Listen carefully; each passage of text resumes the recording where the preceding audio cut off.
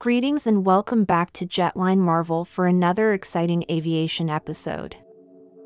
Airlines and regulators predict that one pilot will take the place of two in the cockpit of passenger jets. Although it would lower costs and ease pressure from crew shortages, some individuals find it unsettling to give one person such authority. The European Union Aviation Safety Agency has been creating standards for solo flights in addition to working with aircraft makers to comprehend how they would operate. EASA estimates that such services could start in 2027. In the early 1950s, the majority of aircraft that operated longer flights used to have a crew of four, consisting of two pilots, one navigator, and an additional flight engineer. This crew's responsibilities were crucial for the safety of the flight. However, as technology advanced, it began to quickly replace the duties of the additional crew members on the aircraft. The load on the pilots decreased as the aircraft's instrumentation gradually improved. Why are airlines pushing for a single pilot?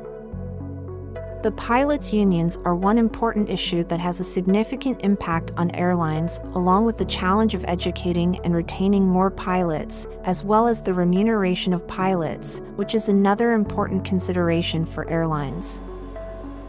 Airlines continuously update their pilots' knowledge of the safe operation and routine tasks. As long as the expense of automation and the new upkeep of ground operators does not end up costing more, single pilot operations will result in cost savings for airlines.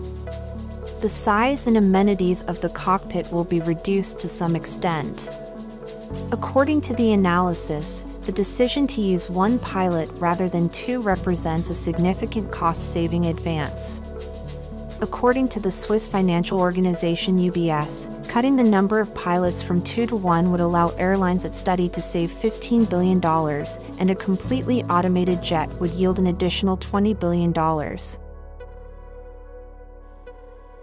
In order to prevent pilot tiredness, some airlines are required to conduct long haul flights with a third pilot who can switch to the cockpit controls as necessary.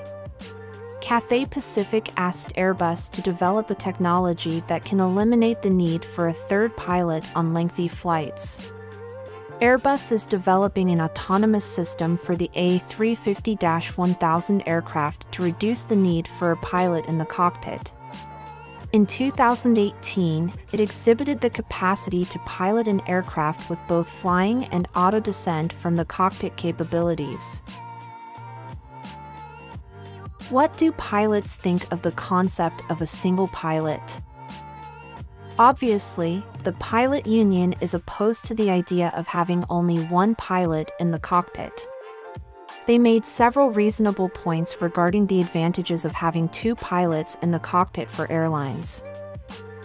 Airlines that transport 100 plus passengers rely solely on their pilots, who are also responsible for ensuring that all safety related procedures are followed.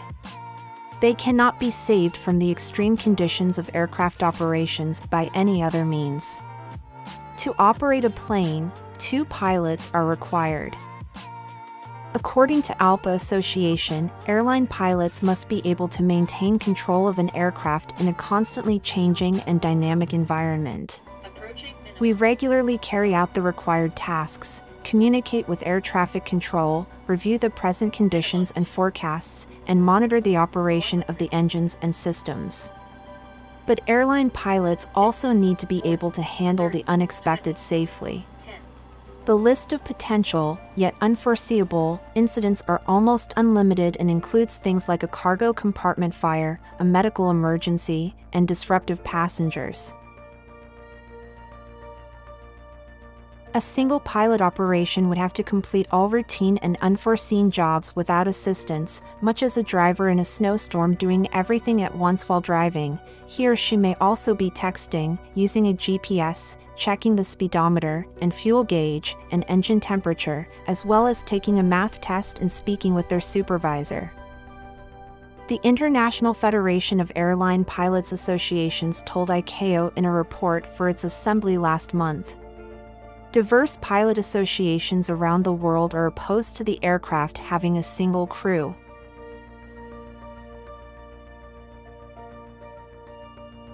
How is technology evolving to make a single pilot a reality? Flying is all about gliding an airplane with the aid of an engine, but with autopilot, all tasks are performed by machines rather than pilots, and pilotless operations are entirely dependent on sensors that calibrate environmental conditions and give flight commands. Further, according to NASA, a skilled pilot on the ground could manage several missions at once. If the pilot became incapacitated, he might even be able to assume full control of the plane. Additionally, this pilot might focus on a certain airport. These possibilities have been tested on specialized ground-based simulators.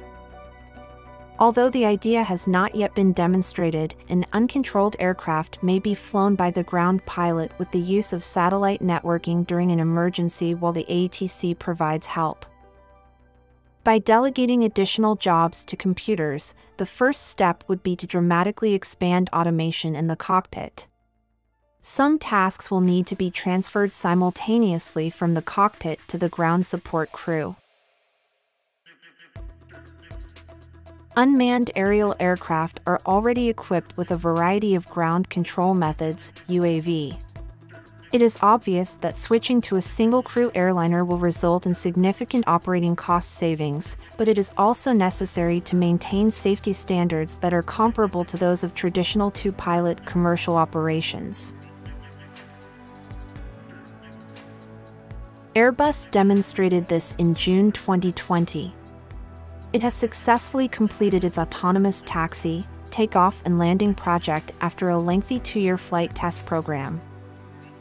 Through fully automatic vision-based flight testing employing onboard image recognition technology, Airbus has successfully completed this project and achieved autonomous taxiing, takeoff, and landing of a commercial aircraft, a first in aviation. Over 500 test flights were completed in all.